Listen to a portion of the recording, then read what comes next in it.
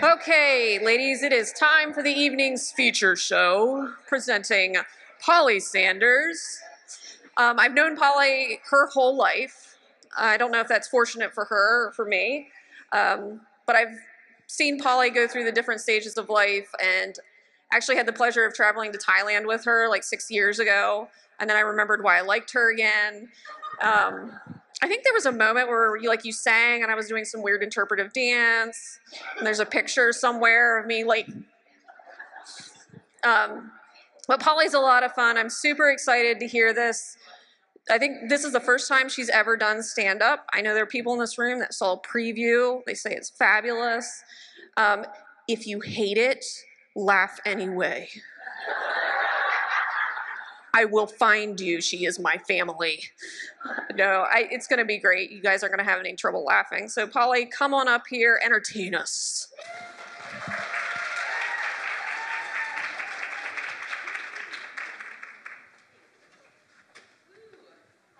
Hello. Hello. Happy Mom's Night Out. You guys are out. That's a really big deal to be out. I feel like we have to re socialize, you know, a little bit. Yeah, no, I love what we do here at Hickory Ridge. I love how we um, acknowledge that motherhood looks different, like Sonya was saying earlier. Um, the whole 16 year olds and up joining us for all of our Mother's Day shenanigans. I love that. Um, I remember when I was 16 and I had all these visions and fantasies of the future of motherhood, what it would look like. Just, you know, these beautiful dreams I had. And, like, for instance, I would think about like the mornings, you know, when you wake up with your kids in the mornings. So magical and glorious. Oh, I just pictured it, you know, I'm downstairs, I'm like, oh, I hear them chirping. better get up there, you know, go in their room. I picture like maybe two kids, one on each side, walk in. They're just beaming at me, you know. Go up to their window and just throw and the drapes, and the morning light just beams in, and I just start spinning in the morning light, like Maria and the sound of music, you know. Maybe start singing a worship song, and my toddlers, who are probably already saved, just raise their little hands. Start worshiping with me. And I'm like, good morning, children, because in the future I'd be British. And I'm like, it's another glorious day. Mummy's been awake for hours preparing for you a delicious hot breakfast. I've also run five miles, read half of my Bible, and connected with a friend. it's gonna be a wonderful day. Let's go downstairs and get our breakfast. Mm. We all just get, you know, go downstairs together. It's just wonderful, cozy. Mm. And then, of course, I had kids. And it could be glorious. It could be magical. There's mornings where, sure, it kind of is. But I'm not really a morning person, so it's hard for me to kind of bring the magic like that. I'm not Mary Poppins, you know. So I try, but it doesn't always happen. And it's usually more like if you do not stop whining, mommy is going to eat all your breakfast. Just stop whining, please. And I know you're thinking, you know, don't give your kids empty threats. it's not an empty threat if I don't eat their breakfast, I probably won't eat.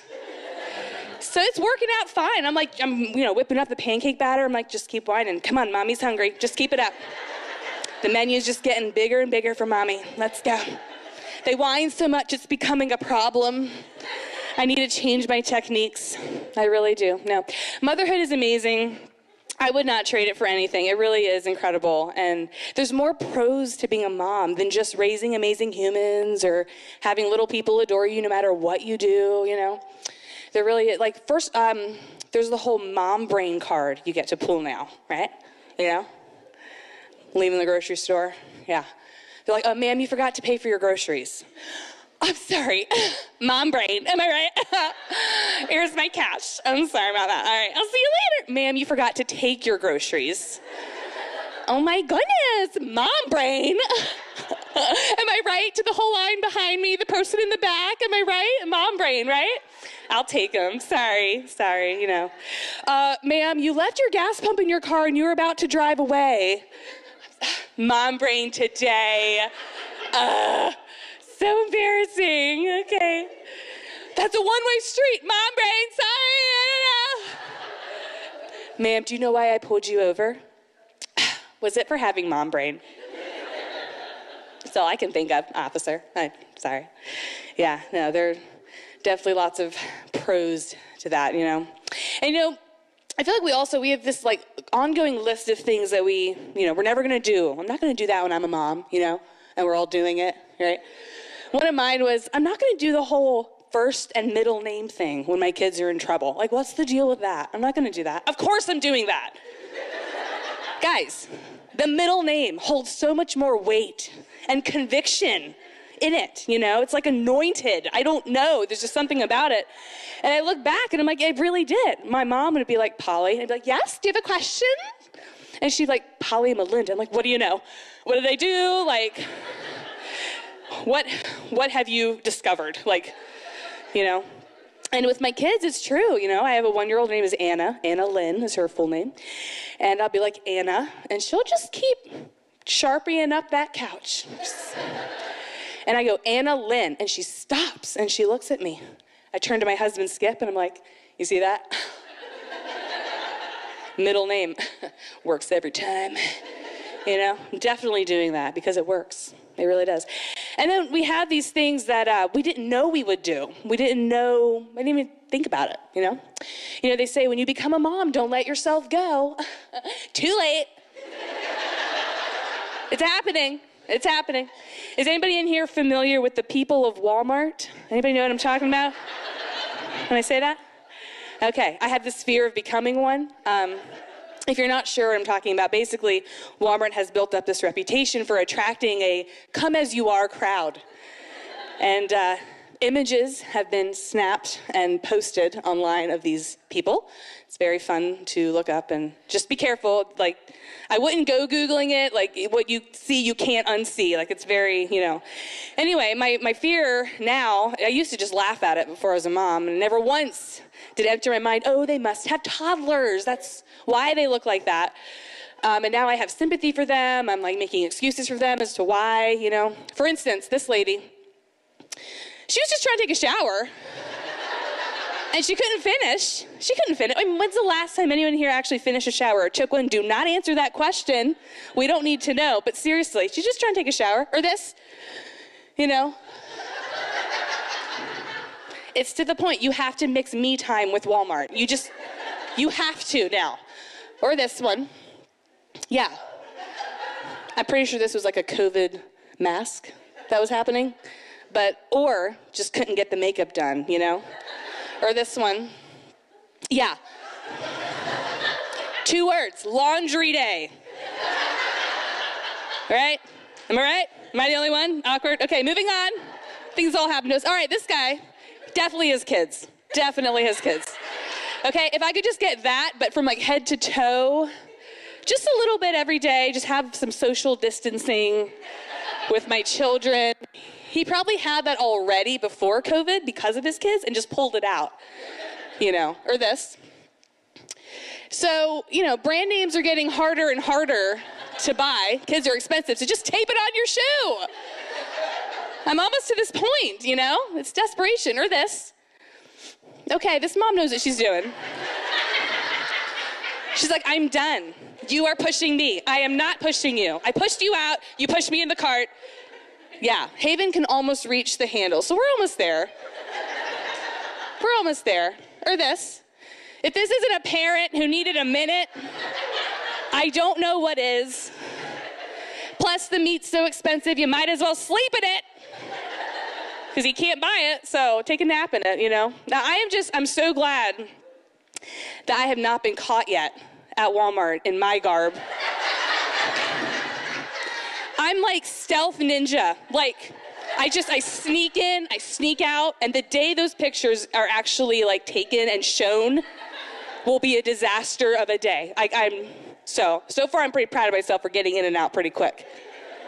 It's hard, but I managed you know but seriously getting getting ready in you know before you leave the house it's just it's just getting harder and harder you know like like wearing jeans is a big deal now right putting on jeans is a big deal and my kids know I put jeans on, and my three year old is like, Where are we going? Is someone coming to watch us? Are you going to church, a wedding, a ball? What's happening? My one year old who can barely talk is bringing me her shoes. She's like, bye bye, bye bye.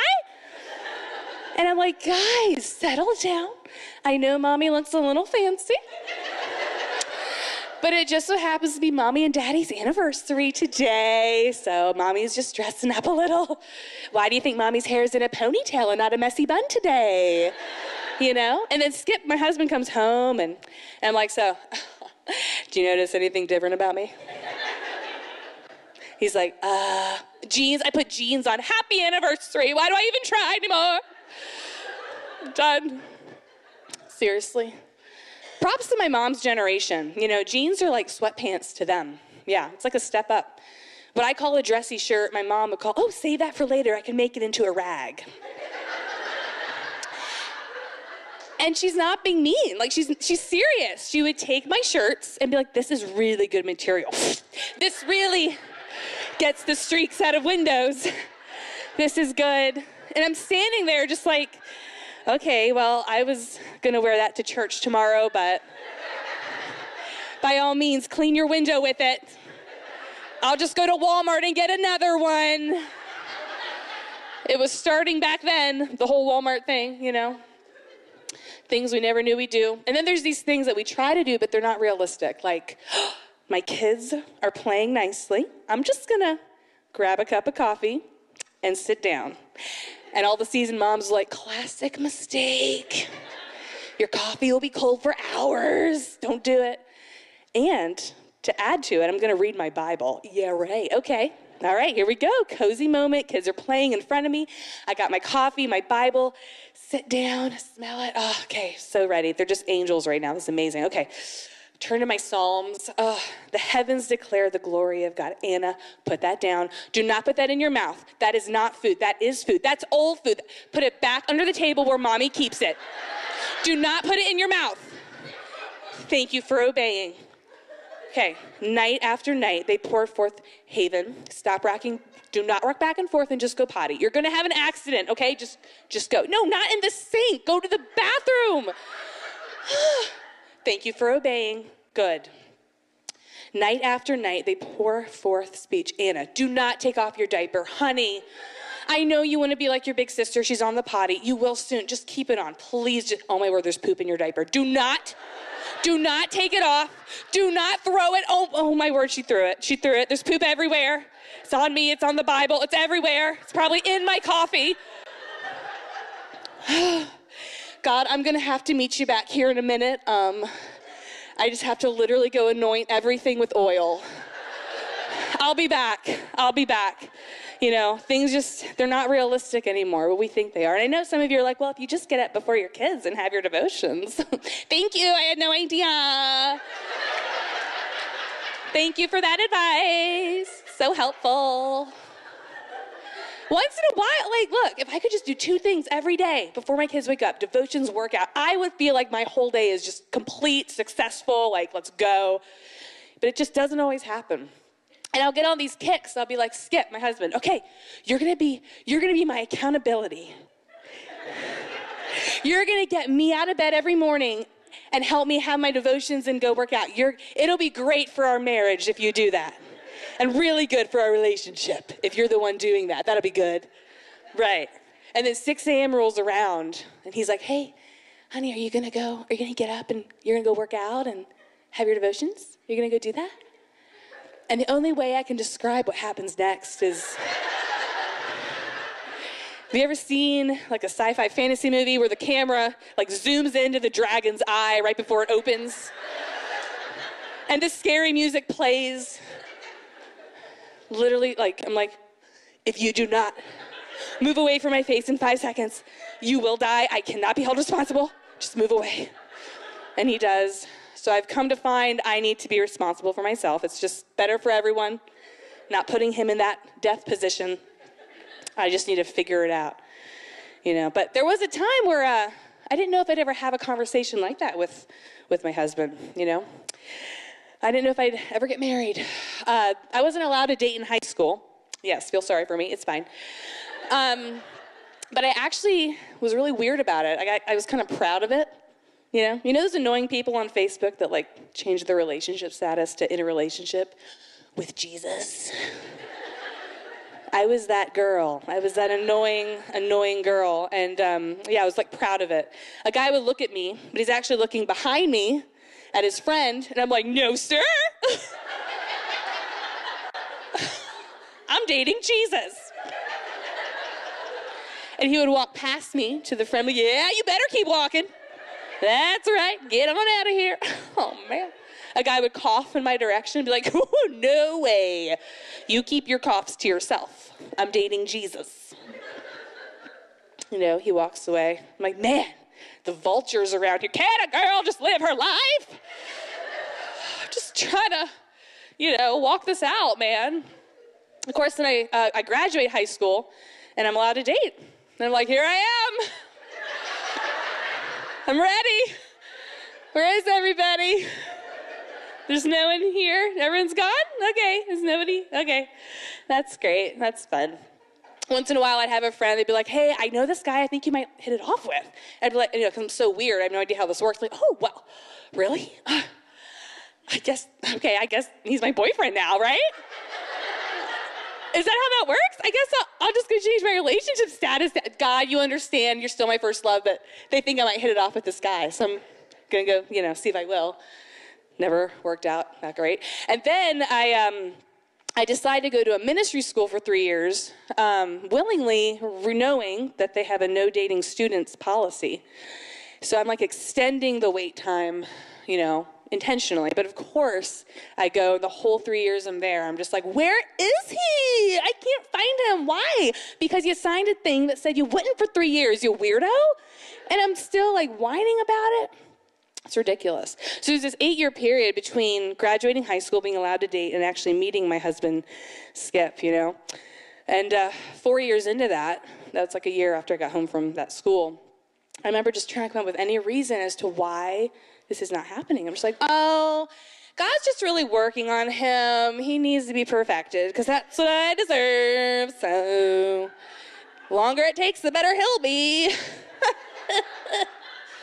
yeah, and this isn't true for everyone, but it was definitely true for me. Then I realized, oh, it's me. Okay, hi, I'm the problem. It's me. yeah. And I realized, you know, looking for the guy, waiting for him, if I would have changed that and actually focus on becoming someone that someone's waiting for, it was a lot better, you know. Little plug out there for the 16 year olds and anyone in the waiting season. It makes it go by just a little faster and, you know, not as miserable. But uh, props to Roxy Heatwole's husband, Dave. Roxy, where are you? Give it up for Dave Heatwall because, yeah, he introduced me and Skip actually. They went to UD together. And um, I think he was just like, well, they're both really weird. I think this just might work. Their kids are doomed, but I think their marriage might be okay. Yeah, let's do this, you know? So we were really thankful for him. Yeah, so. Well, this is awkward. I don't remember what the next thing is I was going to say. It's probably why this event was free. well, mom brain. Just kidding. That's my time. Thank you guys. Happy Mother's Day.